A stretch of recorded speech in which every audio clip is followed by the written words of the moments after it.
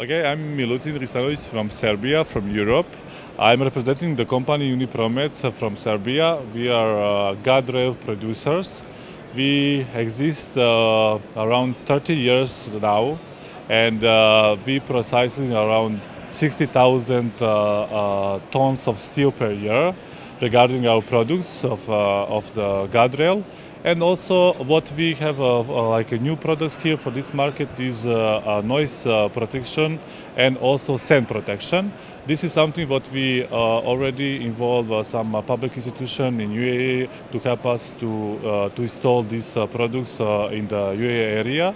So they can make the studies about benefit of our, our products here this exhibition gives us a very good opportunity to meet uh, the people from uh, not just from UAE, also from uh, uh, uh, countries around UAE like Oman, Saudi, other countries, you know. And we already got a lot of contacts, you know, with people who are interested to expand our business on this territory. So very, we, we are very satisfied, and definitely next year we will be here again.